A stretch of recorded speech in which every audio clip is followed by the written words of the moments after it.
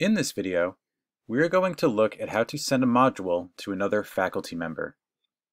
This is good if you have a faculty member who is not necessarily in your course in any sort of role, but you would still like to share a module with them.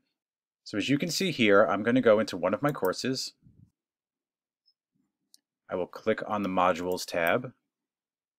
Click on the three dots next to the module that I would like to send to the other faculty member. In this example, I will use the infographics module. There is an option to send to.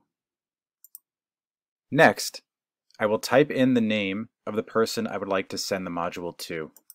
In this example, I will use TLS. And as you can see, the name comes up. I select the person and click send. At the top of your screen, you will see a green check mark letting you know that the content was sent successfully. I went ahead and signed into the other account that just received the information that I sent. And as you can see, on the account tab, there is a little one icon letting me know that something has been shared.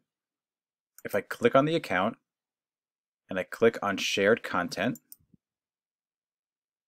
you can see that the module that I sent is now in my receive content and if I click on the Actions tab, the three dots, I can now import this into my course. I would select Import, and then select the course that I would like to add the content to.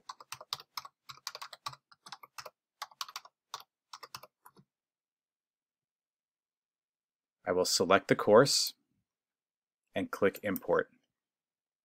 Once again, you will see the green check letting you know that the import was successful.